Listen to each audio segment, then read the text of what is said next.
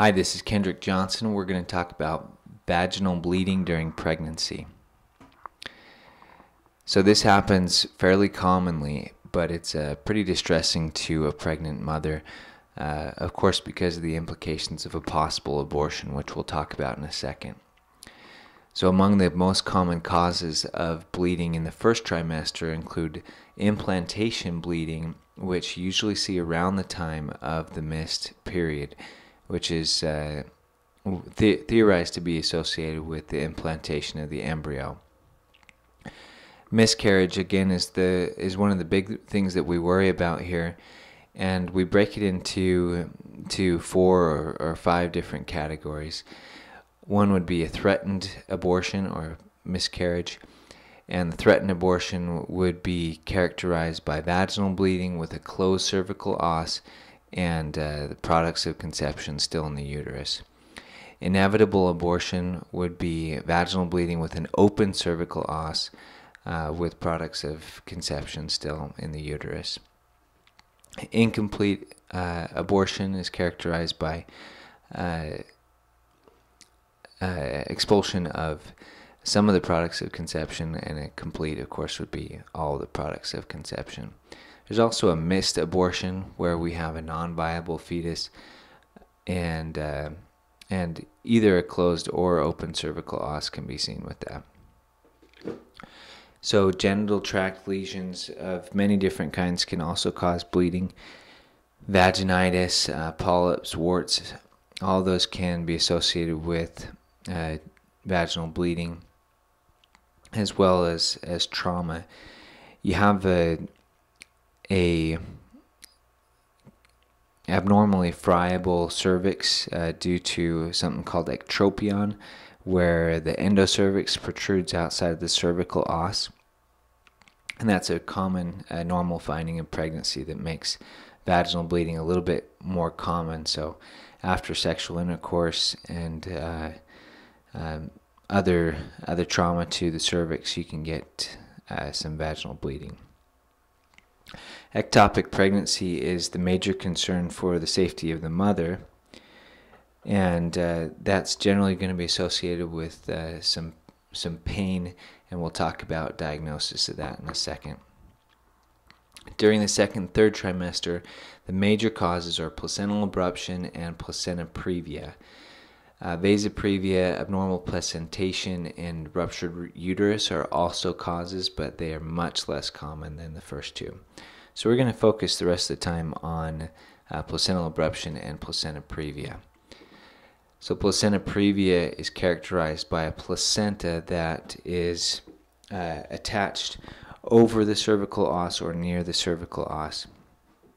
We break it into three different categories, one being complete placenta previa, which is what you see in the picture here, where the placenta covers the cervical os.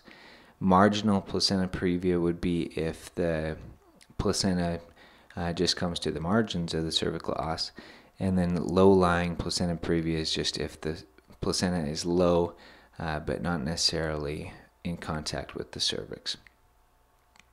Um, placental abruption is when you have separation of the placenta from the uterine wall and uh, anytime before birth.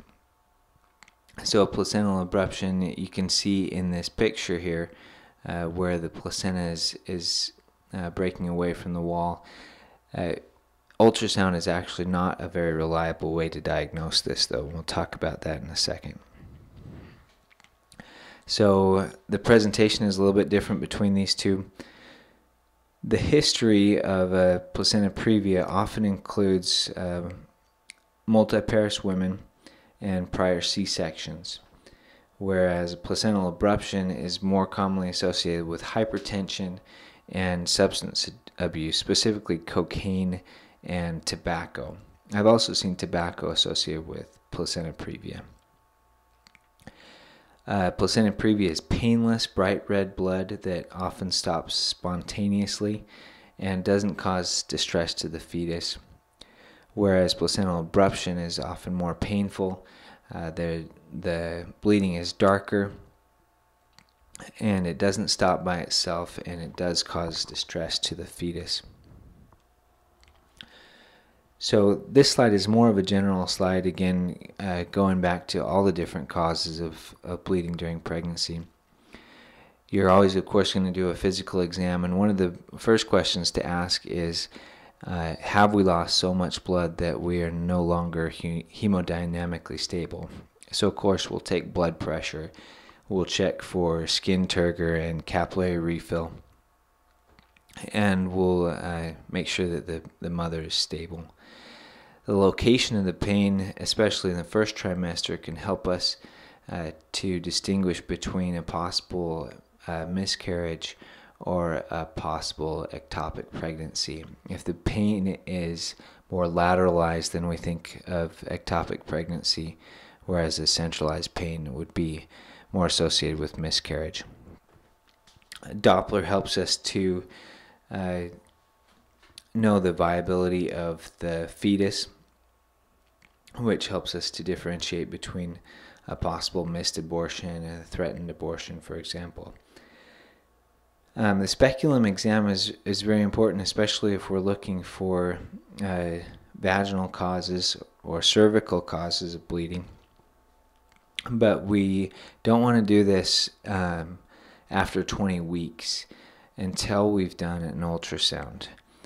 Uh, this is because we don't want to uh, cause any trauma to a possible placenta previa. So once we've done an ultrasound and ruled out placenta previa, then we can go ahead and do the speculum exam and digital cervical exam. HCG helps us to uh, to look at uh, possible molar pregnancies or uh, ectopic pregnancies. Um, we do want to save the tissue to uh, to see if we have uh, expelled products of conception. So we treat placenta previa and placental abruption uh, fairly sim- similarly. We want to stabilize the patients. We want to hospitalize, in some cases, the uh, placental abruptions. Um, we give tocolytics to help prevent prematurity, betamethasone to prepare the lungs, and placenta previa is more often uh, delivered with C-section. Thanks to Sigrid and Nevit for the pictures that we used in this uh, presentation. If you want to help out, please leave a comment or you can get involved more by going to worldmedicalschool.org backslash volunteer.